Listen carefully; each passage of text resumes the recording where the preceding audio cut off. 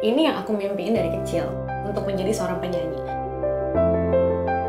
Menjadi seorang penyanyi yang diterima, seorang penyanyi yang tidak hanya dipandang sebelah mata dan bukan sesuatu hal yang mudah untuk dijalani. Aku sudah diberikan sebuah kesempatan untuk bisa berkecimpung dalam musik. Ini kayak memasuki sebuah lebaran yang baru.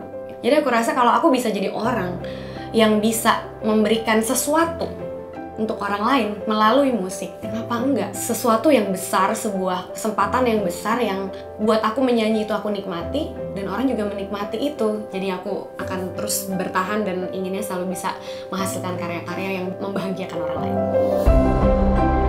Saksikan perjalanan karir musikku dan jadilah bagian dari konser perdanaku It's Me BCL in collaboration with Molto 1 Maret 2017 di JCC.